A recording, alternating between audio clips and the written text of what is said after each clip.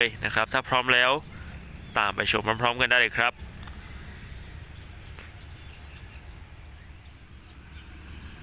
สำหรับบตย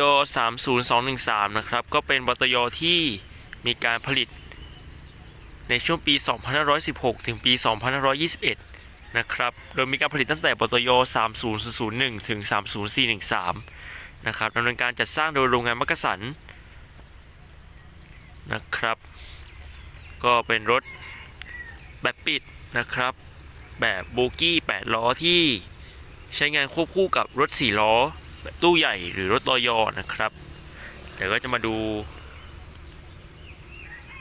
อุปกรณ์ภายนอกกันนะครับ เราจะดูแค่ภายนอกอย่างเดียวเพราะว่าภายในเขาปิดทึบแน่ๆ ผมก็เข้าไปดูไม่ได้แน่นอนนะครับ เพราะว่าน่าจะเป็นที่เก็บอะไหล่ของฝ่ายโยธาแขวงชุมพรอยู่นะครับ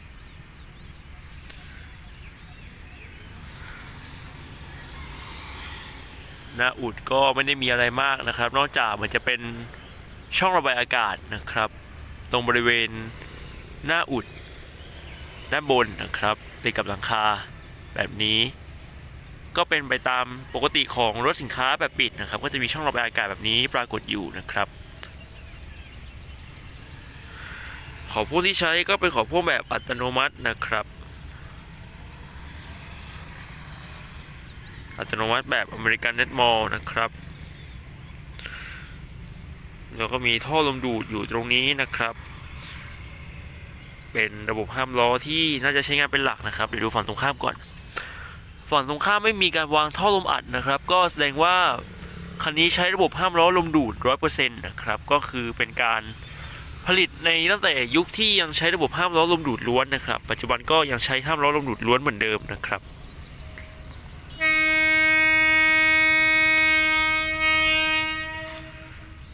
มาตัวนี้มีเนมเพลทนะมอเตอร์ย30213 ผลิตโดยโรงงานมักกะสันปี 2517 นะครับ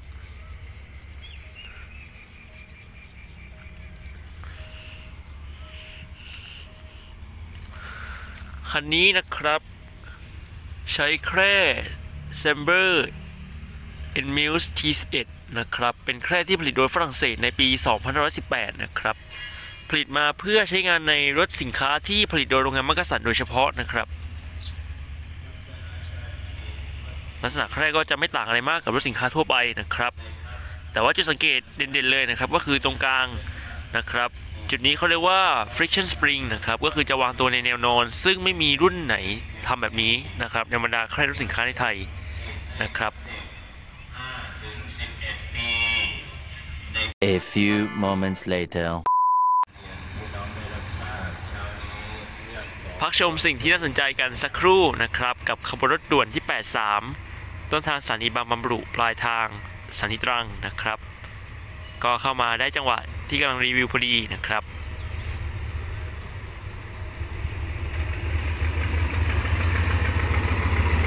สวยครับวันนี้นำโดยดีเซล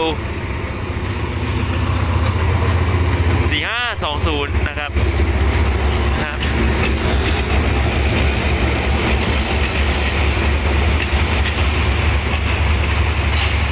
ตู้ทักทายกับพนักงานรถจักรนิดหน่อยนะครับ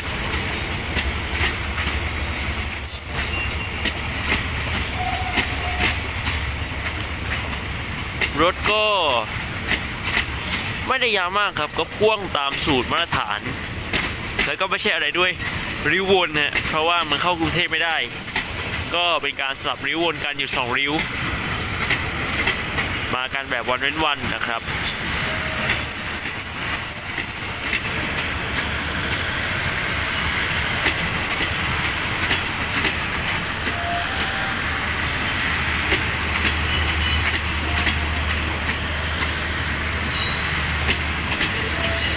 12 คันนะครับ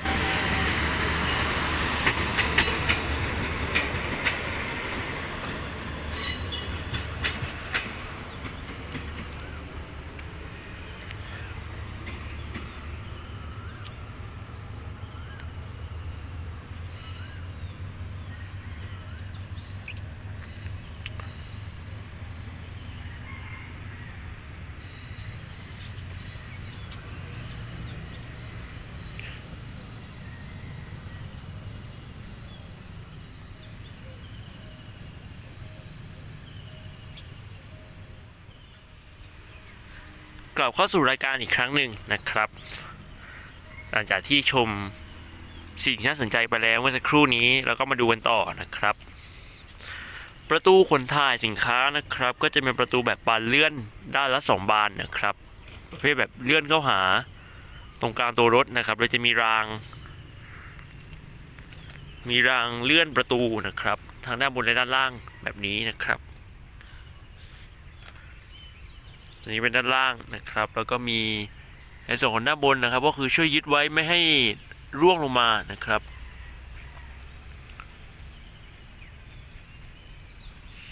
ลองดูใต้ท้องรถกันต่อฮะ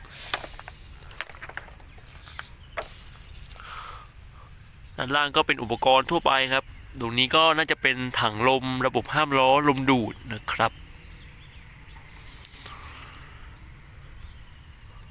อ่าตรงนี้ก็เป็นหม้อสูบห้ามล้อลมดูดนะครับ หม้อเพิ่งผ่านวาระน่าจะเป็นที่บางซื่อตั้งแต่วันที่ 14 สิงหาปี 52 นะครับ ก็หม้อนี้ก็ไม่ได้น่าจะไม่ได้มีการเปลี่ยนมานานกว่า 12ถึง13 ปีแล้วนะครับวันนี้ก็มีระยางมีชุดอุปกรณ์ที่สมบูรณ์ดีมากนะครับ ด้านล่างก็มีโครงสร้างเสริมความแข็งแรงของโครงประธานนะครับ ก็เป็นไปตามสูตร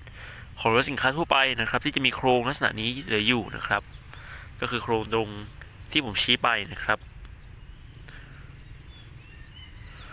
อ่าตรงนี้ก็เป็นเบรกมือนะครับ หรือที่ผมผมชอบเรียกว่าห้ามล้อมือหมุนนะครับ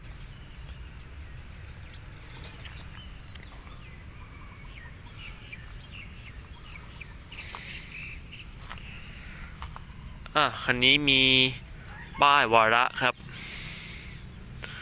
รถคันนี้นะครับเป็นรถประเภทวาระ 6 ปีนะครับ ออกวาระที่บางซื่อวันที่ 11 สิงหาคม 2552 นะครับ และตามแผนจะต้องเข้าวาระหนักในเดือนสิงหาคมปี 258 เหมือนกันนะครับ แต่ว่ามีป้ายโน้ตไว้ครับ ยืดวาระหนัก 3 เดือนเป็น เดือนสิงหาปี 59 นะครับ แต่เหมือนกับว่ายังไม่ได้เข้าอีกเลยนะครับ ตั้งแต่มีการทำสีนี้ออกมา ก็แสดงว่าน่าจะเป็นแค่การใช้งานสำหรับ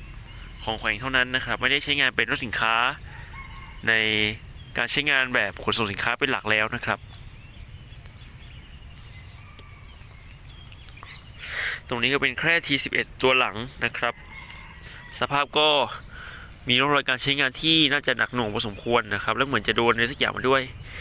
สังเกตว่าคราบสนิมเกาะเต็มไปหมดเลยนะครับเหมือนอาจจะเป็นรถที่โดนน้ำท่วมจน ตัวแคร่มีคราบอะไรแบบนี้เต็มไปหมดเลยนะครับ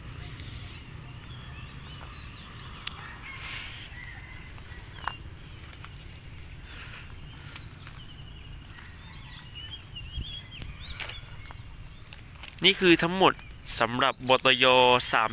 30001 ถึง 30413 รุ่นผลิตโดยโรงงานมักกะสันในปี 2516 ถึงปี 2521 ครับ และรุ่นต่อไปนะครับ รุ่นนี้ก็ถือว่ามีประวัติที่น่าสนใจมากนะครับ เพราะว่าการมาถึงของมันมันยังไม่ใช่ลักษณะนี้นะครับ มีการดัดแปลงใหม่ในภายหลังด้วยนะครับ คันนี้ก็คือ บตย25105 นะครับ ก็อยู่ในตระกูลของบตย25001 ถึง 25158 ที่การรถไฟแห่งประเทศไทยนะครับนำเข้า และสั่งผลิตจากโรงงาน d a w o Heavy Industry ในปี 2526 นะครับ หลังจากที่โรงงานมักกะสัน คาดว่าน่าจะเพิ่งปิดตัว หรืออาจจะอยู่ในช่วงระหว่างการปิดตัวนะครับ เพราะว่าโรงงานมักกะสันก็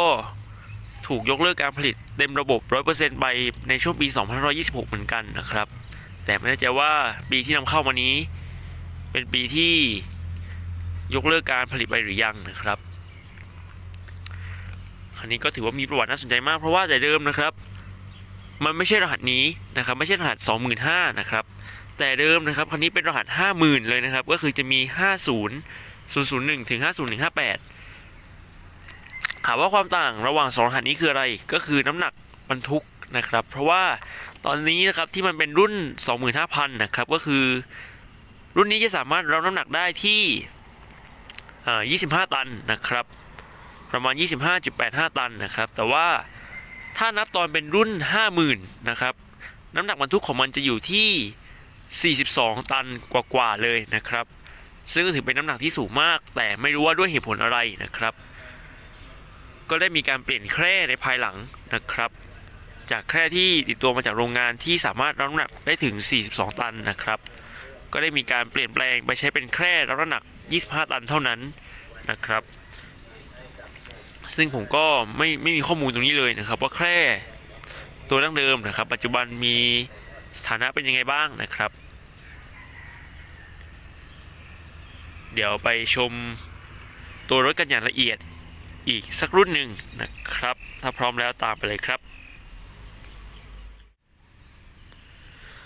มาดูกันนะครับสำหรับบตโย25105 นะครับ ลักษณะก็ดูไม่ค่อยต่างอะไรมากกับบตโย30213 เมื่อสักครู่นี้นะครับ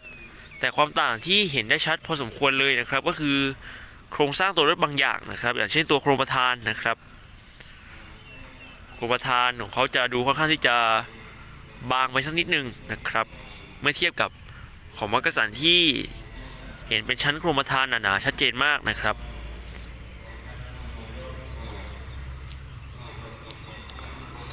แล้วสังเกตนะครับว่าตรงบริเวณรอยมุมระหว่างตัวรถกับหลังคานะครับ มันจะเป็นรอยตัดที่ค่อนข้างที่จะชัดเจนเลยนะครับ แต่ถ้าเทียบกับของโรงงานมักกะสันนะครับ มันก็จะยังเป็นส่วนโค้ง โค้งแบบ ตัดเหลี่ยมออกนะครับ ก็ทำเป็นส่วนโค้งรับไว้อยู่ แบบนี้นะครับ บริเวณหน้าอุดก็ไม่มีอะไรมากครับ ก็มีช่องระบายอากาศนั่นตรงบริเวณด้านบนของหน้าอุดเหมือนกันนะครับ ขอบพ่วงที่ใช้นะครับ ก็เป็นขอบพ่วงแบบอเมริกันเน็ตมอลนะครับ ก็เป็นไปตามรูปลักษณ์มาตรฐานของขอบพ่วงอัตโนมัติ ที่เราเห็นกันได้โดยทั่วไปนะครับ ตรงนี้ใกล้ๆกันก็เป็นท่อลมดูดนะครับ ซึ่งก็ยัง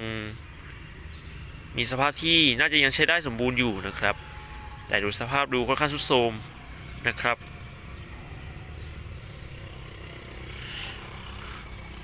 มองไปฝั่งตรงข้ามนะครับ ไม่มีการวางท่อลมอัดนะครับ แต่ผมเห็นอะไรบางอย่างฮะ ต้องเดินไปดูใกล้ๆ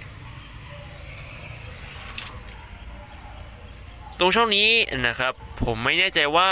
มันเป็นท่อลมอัดตั้งแต่แรกเลยหรือเปล่า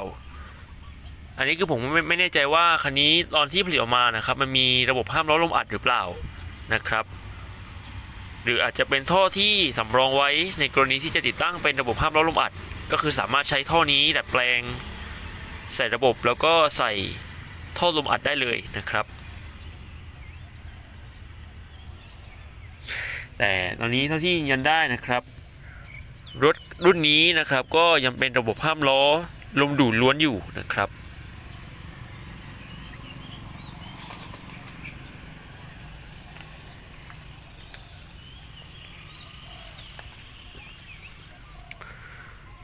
อ่าคันนี้ ใช้แคร่ Sumitomo Ride Control นะครับ เป็นแคร่ที่เราสามารถพบเห็นได้นะครับ บ่อย รองลงมาจากแคร่ T11 ของฝรั่งเศสที่ให้ดูเป็นเมื่อสักครู่นะครับ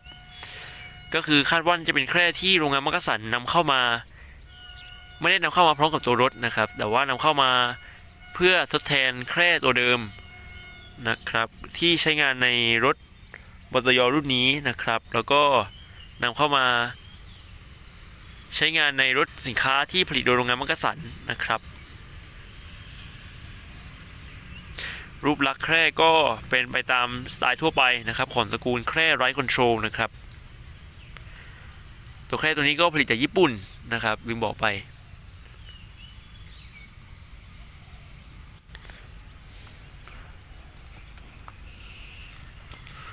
ตรงประตูขนสินค้านะครับก็เป็นบานเลื่อนเหมือนกันนะครับ เป็นบานเลื่อนเลื่อนเข้าตรงตอนกลางของตัวตู้นะครับ ก็ไม่ได้มีอะไรพิเศษมากมายนะครับ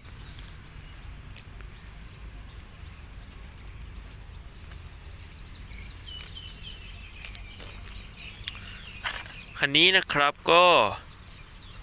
ไม่มีร่องรอยการใส่ระบบลมอัดแม้แต่น้อยนะครับ ก็แสดงว่าน่าจะเป็นรถที่ใช้ระบบห้ามล้อลมดูดมาโดยกำเนิดนะครับ ตรงนี้ก็เป็น ถังลมสำหรับระบบห้ามล้อลมดูดนะครับ ก็ยังครบถ้วนสมบูรณ์ดีมากนะครับ ฝั่งนี้นะครับก็จะเป็นหม้อสูบห้ามล้อลมดูดนะครับ ที่อยู่ในชุดอุปกรณ์ระบบห้ามล้อลมดูดนะครับ ก็ยังครบถ้วนสมบูรณ์ดีมากนะครับ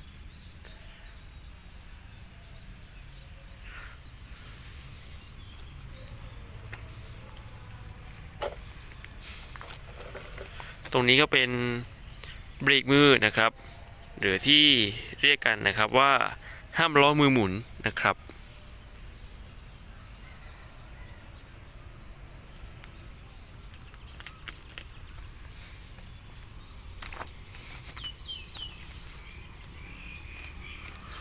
อ่าตรงนี้มีป้ายวาระนะครับรถคันนี้ก็เป็นรถประเภทวาระ 6 ปีเหมือนกันนะครับ ออกวาระที่ นครราชสีมาในวันที่ 14 กันยายน ปี 250 นะครับ มีการเข้าที่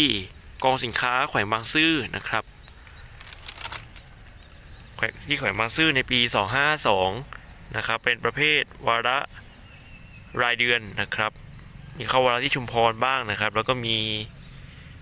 ตามแผนนะครับก็จะเข้าวาระหนักในเดือนกันยายนปี 56 นะครับ แต่ว่าน่าจะไม่น่าไม่น่าจะได้เข้าแล้วนะครับ เพราะว่าไม่ได้อยู่ในการใช้งานแบบขนส่งสินค้าแล้วนะครับ แต่ว่าไปอยู่ในฝ่ายโยธาแทนนะครับ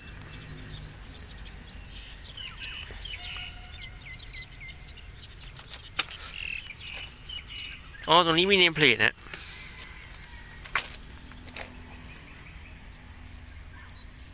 อันนี้เป็นเนมเพลท โรงงาน d a w o Heavy Industry นะครับ ปี 1983 กรุงโซลเกาหลีนะครับ ก็ทราบมาว่าโรงงาน d a w o นะครับที่ผลิตรถไฟนะครับ ก็มีการควบรวมกับบริษัทฮุนไดนะครับกลารเป็นบริษัทฮุนไดโรเทมเป็นที่รียบร้อยแล้วนะครับ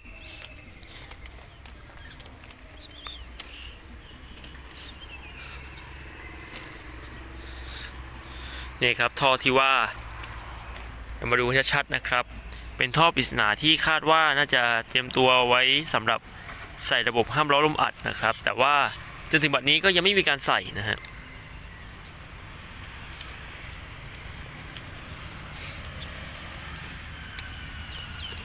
มีการเดินท่อไว้ด้านใต้ท้องรถนะครับ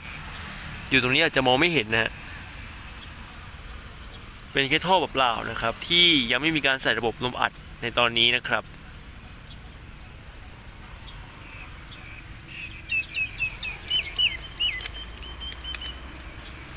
และนี่ก็คือทั้งหมดสำหรับรีวิวรถไฟ EP ที่ 75 ในวันนี้นะครับ ก็ก่อนจะจบคลิปนี้ไปก็พักชมสิ่งที่น่าสนใจสักครู่ แล้วกลับมาติดตามชมกันในช่วงสุดท้ายของรายการครับ A few moments later. ก่อนจะไปพบกับช่วงสุดท้ายของรายการนะครับ ก็มีรถอีกขบวนหนึ่งกำลังมาพอดีนะครับนั่นก็คือขบวนรถโดยสารท้องถิ่นที่ 447 สุราษฎร์ธานีสุไหงโกลกนะครับนำโดยนะต้อม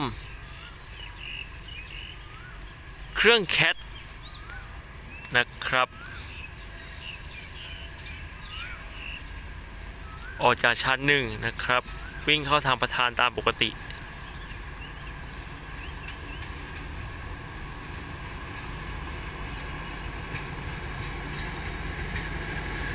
นะต้อม 4301 นะครับ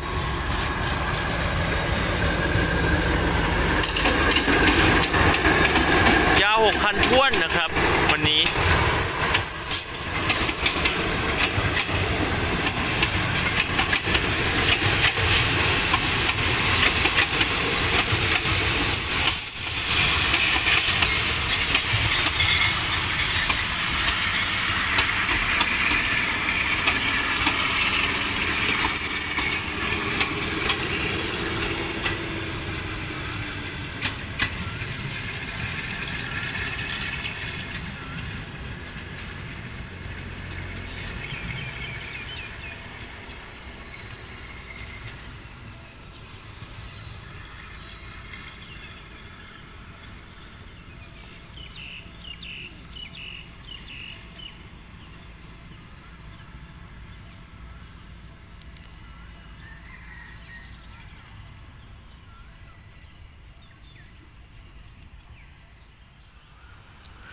สำหรับรีวิวรถไฟ EP ที่ 75 ในวันนี้ก็ต้องขอจบลงแต่เพียงเท่านี้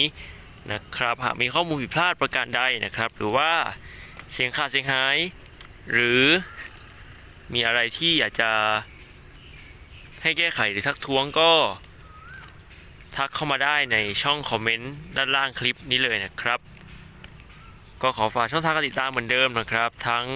ใน Facebook Fanpage นะครับ SRT Thai Refining คนรักรถไฟ แล้วก็ Instagram กับ TikTok นะครับ Thai Transporter n e s c o r e th ก็เข้าไปกดไลค์ กดแชร์ กด Follow Subscribe เป็นกำลังใจให้เจ้าของช่อง ซึ่งมีเพียงแค่คนเดียวนะครับ ตอนนี้ทำทุกอย่างคนเดียวนะครับ ตัดต่อเอง ถ่ายเอง หาเองคนเดียวนะครับ ก็ฝากกดไลค์ กดแชร์เป็นกำลังใจให้ ช่องนี้ได้สรรสร้างคลิปคุณภาพ สรรสร้างรีวิว ดีๆ เป็นความรู้ให้กับทุกคนแบบนี้ต่อไปนะครับ ก็สำหรับวันนี้รีวิวรถไฟ EP ที่ 75 กับ SRT t h a i r e f i n i n g คนรักรถไฟก็ต้องขอตัวลาไปก่อน แล้วพบกันใหม่ครั้งหน้านะครับสำหรับวันนี้สวัสดีครับ